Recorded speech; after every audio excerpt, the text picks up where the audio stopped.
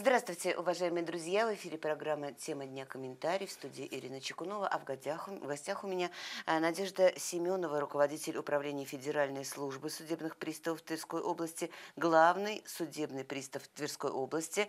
Надежда Геннадьевна, здравствуйте. Добрый день. А, мы, как обычно, в конце года подводим своеобразные итоги, но, насколько мне известно, у вас Новый год, для кого праздник, для вас это повышенный источник хлопотливости такой, да? Это профилактические рейды, это очередные напоминания, упоминания, приглашения, прямые линии, горячие линии, да? А, вот несколько слов об этом. Да, действительно, э, вот как э, Новый год считается, наверное, самым главным праздником, да, так и, наверное, к его, его приготовлению, да, и приготовление к нему э, во всех пониманиях этого слова, да, оно очень тоже важно. Ну, в том числе и для нашей службы, потому что все готовятся куда-то полететь, куда-то поехать, ну и, наверное, да, более приятно отдыхать и праздновать окончания года и начало чего-то нового, начало Нового года без долгов. Вот поэтому мы хотим помочь всем, да, вот э, в течение декабря активно стараемся помочь, кому-то напомнить, кому-то уже не в первый раз напомнить о том, что эти долги имеются. Ну и э, для кого-то уже наши визиты являются более серьезными, да, это там, где мы уже говорим об аресте имущества. Ну и, конечно же, очень Важным на сегодняшний день для нас а, является такой вопрос, как напомнить об ограничениях выезда за пределы Российской Федерации, насколько это сегодняшний, на сегодняшний день тоже остается актуальным, для того, чтобы не испортить себе праздники, да, а, и позаботиться об этом уже сейчас. Тем более, что такие примеры, долга. к сожалению, да, есть. конечно, они есть всегда, да, почти в каждые новогодние праздники все равно мы сталкиваемся вот с этими, а, вот с этими проблемами, да, когда человек тут не посмотрел, тут не досмотрел, да, не увидел, ну и вот решил, что, может быть, пройдет и так. А, я знаю, что это, это, и, это и визиты, в том числе на железнодорожный вокзал, уже стало традицией, да, где пассажиропоток довольно-таки большой, люди подходят, вот, да? что называется, не отходя от кассы, с вещами можно остановиться и все узнать и идти дальше. Да, мы очень давно уже взаимодействуем, э, и вот э, постоянно проводим такие вот акции. Акция, она абсолютно информационная. Естественно, если люди желают оплатить свои долги, они могут это сделать, но Чаще всего, да, это носит просто информационный характер. Люди привыкли к тому, что наши сотрудники находятся там, да, и охотно э, уточняют информацию, которую. Но уже мы сделали большое дело вместе с вами, что люди уже не боятся да, судебного да, пристава, да. Э, пристава, уже не бегут подальше, да. А все равно для некоторой э, категории э, граждан служба судебных приставов, она ассоциируется с, с каким-то карательным органом, да. Но тем не менее, наверное, не все знают, что есть от вас же и меры поддержки населения? Какие они? Да, конечно. С 1 февраля еще 2022 года, то есть мы уже, в принципе, вот э, с этой новой нормой живем уже почти два года, это э, право должника сохранить прожиточный минимум при удержании из любого вида дохода. А, конечно же, здесь э, в первую очередь да, это э, говорит о том, что законодатель сохранил тот баланс интересов, потому что жизненные ситуации бывают разные, и у людей возникают долги, да, и иногда и по каким-то объективным жизненным ситуациям. Поэтому в данном случае, естественно, у человека должен оставаться тот минимум, который необходим для нормального значит, проживания.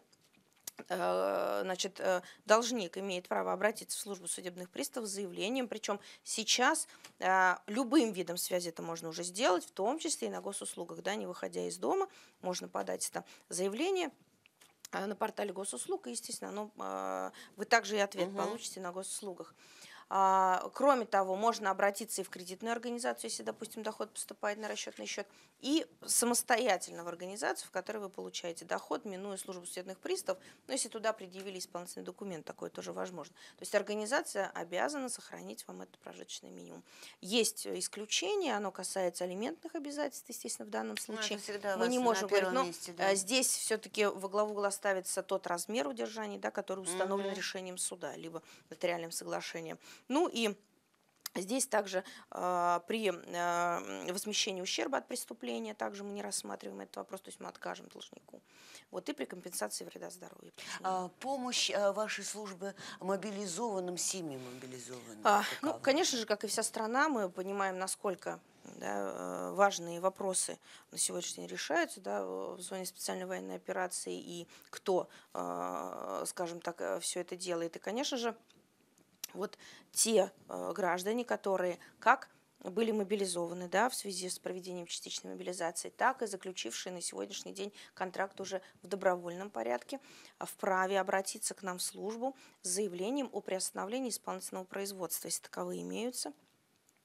А если гражданин по каким-то причинам не успел это сделать сам, то э, это могут сделать его родственники с представлением нам документов. Угу. Кроме того, также на госуслугах можно это сделать, это абсолютно доступно.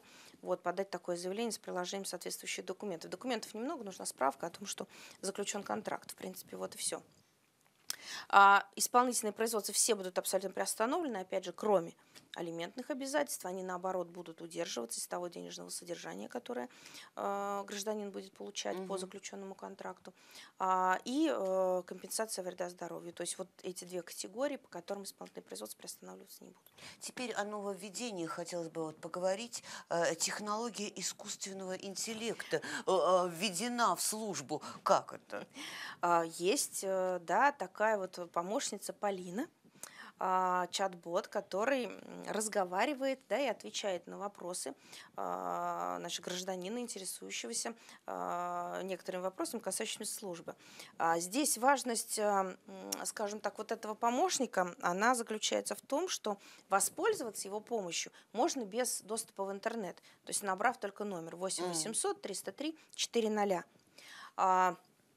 И э, при э, простейшей идентификации, то есть фамилия, имя, отчество, дата рождения и регион проживания, э, помощник Полина ответит, есть ли в отношении вас исполнительное производство или нет.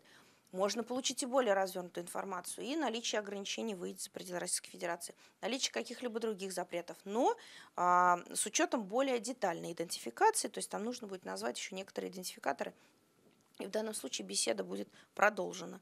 А, это очень удобно. Сами проверяли, сами тестировали, общались с помощником Полины, все работает. А, к Полине в плюс. Давайте напомним э, жителям нашего региона, какие еще способы связи есть. Ну, Теперь вот будут, будут знать о Полине. Да. Ну, конечно же, традиционный вид связи, да, это приход в структурное подразделение, он никуда не делся, причем пообщаться с дежурным э, должностным лицом возможно в ежедневном режиме, за исключением только обеденного времени, то есть это с 9 до 18, пятница э, с 9 утра до, 7, до 16.45. А, кроме того, это приемные часы, они также сохранились у должностных лиц, к ним можно записаться на сайте управления, а, указав дату и удобное время, и, естественно, должностное лицо, которым вы записываетесь. Ну и я всегда говорю о том, что, пожалуйста, указывайте а, тот вопрос, с которым вы э, хотите обратиться на прием, для того, чтобы должностное лицо могло подготовиться к вашему приему. Я знаю, что и у вас будет прием, да, в канун новогоднего праздника. Да, конечно. Личный, у меня э, приемы идут каждый четверг, как обычно. Кроме того, уже в течение почти двух месяцев я провожу дополнительные а, приемы граждан по средам с 16 до 18, именно по вопросам алиментных обязательств, так как этот вопрос на сегодняшний день остается актуальным. И для того, чтобы как можно больше да, людей смогли обратиться ко мне, вот введен этот дополнительный прием. Несколько слов буквально. Э, э, вопрос, который раньше, помните, стоял очень остро. Идентичные данные с должниками, да? С человека снимаются деньги, а он ни при чем, что называется. А, ну, конечно же, пока эта проблема еще есть, но мы говорили в этой студии, что законодательно сегодняшний день, в принципе, точку уже поставил, и в СПОЛ документах уже должны быть указаны а, идентификаторы то есть новые документы уже исключают такую возможность. Естественно, те, которые были выданы ранее, да, по ним еще такая ситуация возможна. Но, вот еще раз говорю, что пугаться не нужно. Вот увидели на госуслугах долг, вы понимаете, что это точно не ваш, да, то есть угу. не могли бы быть вы в том месте, да, в то время там или, э, допустим, э, должны кому-то. Тут же на госуслугах можно выбрать, э, значит, в сервисах ФССП обращение, указав там не мой долг, да, а, значит, я являюсь, э, значит, не являюсь должником. Это обращение к нам поступит, естественно, его в скорейшее время сразу же мы рассмотрим. Обязательно нужно приложить те идентификаторы для того, чтобы вас идентифицировать правильно и сравнить с должником. Кроме того, а, а, значит, на сайте управления интернет-приемная есть обращение прям с тематикой «Я двойник». Угу. Выбираете обращение, прикладываете та же идентификаторы, два дня на, на рассмотрение. С вами обязательно свяжется сотрудник управления, который будет рассматривать это обращение. И, естественно, в очень короткое время, не дай бог, если были предприняты какие-то меры, все будет отменено. Я знаю, что у, ну, для кого не секрет, что у вашей службы очень много задач. Но, тем не менее, вы никогда не забываете о подрастающем поколении. Всегда что-то проводите, придумываете для наших ребятишек. И вот в, в преддверии Нового года, да, елка желаний у вас а, была. Да, мы уже несколько лет участвуем в этом э, проекте. Конечно же, мы понимаем, что не можем да, исполнить желание каждого ребенка, но вот в этом году уже а, желание одного ребенка да, мы исполнили. Вчера встречались с семьей. Э, значит, мальчик Женя, 7 лет, вот подарили ему какую-то очень-очень замечательную колонку, да, Алиса. Э, она ему нужна, кроме того, для развития речи, потому что ребенок э, немножко, да, имеются определенные проблемы со здоровьем, поэтому угу. я надеюсь, что это желание э, Жени, оно поможет ему еще и вот в развитии вот ребенок был действительно очень рад, а, и с семьей тоже вот было такое очень теплое общение.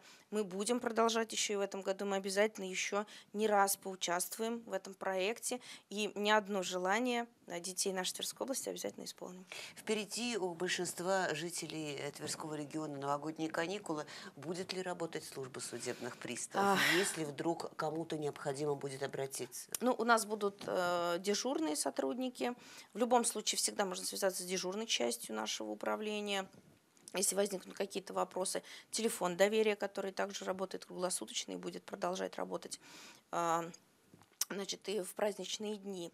Ну, присутствие как такового, да, в структурных подразделениях мы не предполагаем, но в случае, если возникнет какая-то нештатная ситуация, где потребуется присутствие судебного пристава, то, конечно же, мы будем работать. Э, как обычно, заканчиваем программу новогодними пожеланиями, Новый год – Символично. А, ну, а, всегда, наверное, традиционное пожелание, когда что-то заканчивается, начинается что-то новое.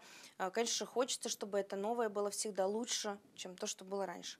А, хочется пожелать мира, добра, тепла, потому что это очень важно, если мы будем а, относиться более по-доброму друг другу, да, то будем э, вместе, у нас будем более сильными, да, более э, счастливыми, и тогда у нас обязательно все получится. Для нашей страны сейчас, мне кажется, это очень-очень важно и для каждого из нас, потому что если каждый человек чувствует себя счастливым, значит и в нашей стране тоже будет все хорошо.